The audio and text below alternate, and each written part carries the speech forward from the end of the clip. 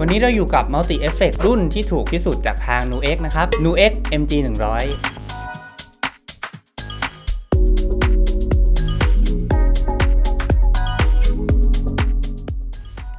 สำหรับ MG 100 นะครับ ก็จะเริ่มที่เสียงคีนเลย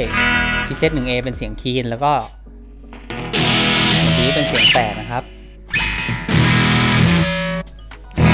ก็จะมี preset ที่ทางโรงงานเขาตั้งมาให้หลายแบบเลย ไม่ว่าจะเป็น preset ที่เออเป็นแบบว่าคลาสสิกปกติ เป็นเสียง crunch นะครับมีเขาใส่พวก phaser อะไรพวกนี้มาอะไรอย่างนี้อ่าทีนี้วิธีปรับนะครับของแต่ละเสียงอะสมมุติจาก preset 1B นะครับ เข้าไปที่หน้า Edit กดปุ่มนี้ แล้วก็มันจะเริ่มที่ เริ่มที่ตัวนี้ครับ เป็น Signal Flow เข้าไปนะครับ ก็จะเป็นตัวแรก เราจะปรับเป็นคอมเพรสเซอร์ได้ ปรับ gate ได้ก็อยู่ที่เราปรับนะครับ แล้วก็เป็น pedal นะครับ เรา setting ได้ว่าจะให้มันเป็นแบบไหน แล้วก็เป็นจำลองแอมป์สมมติผมอยากเปลี่ยนมันผมก็กด select ก็จะเปลี่ยนแล้ว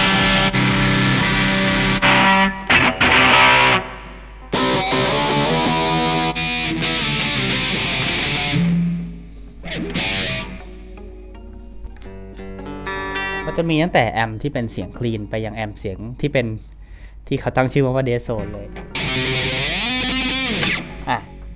ต่อไปก็จะเป็นตัวตัวกราฟิก EQ นะครับ ก็เอาไว้ EQ กันว่าเราอยากได้แบบไหน ต่อไปก็จะเป็น noise gate อะพอถัดจากโซน noise gate ก็จะเป็นตัวก้อน modulation ครับ แล้วก็ปรับได้ว่าจะเป็นให้ให้มันเป็นลายเป็น chorus เป็น stereo chorus puncture ไวบาโตเทมาโลครับเราปรับได้หมดเลยเนาะ pitch shift pitch shift ได้ด้วย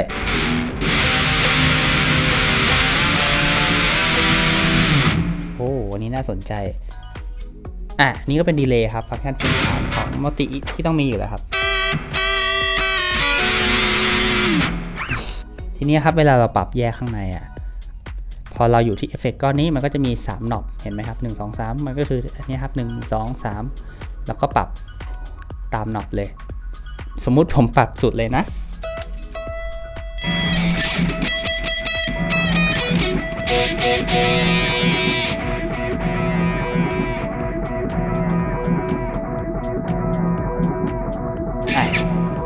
อันนี้ก็คือ delay นะครับ เสียงมันยังอยู่อยู่เลยสงสัยผมปรับmix สุดเกินไป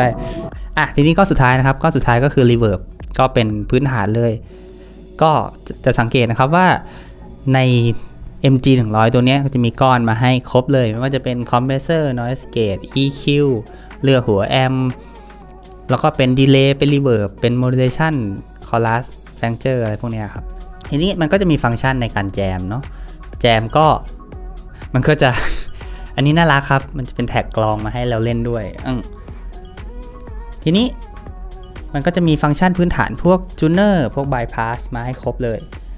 แล้วเราจะ save สมมุติเราชอบหน้าเมื่อกี้ครับ เราชอบ preset นี้แล้ว เราจะ save เราทำไง มันก็จะมีปุ่ม save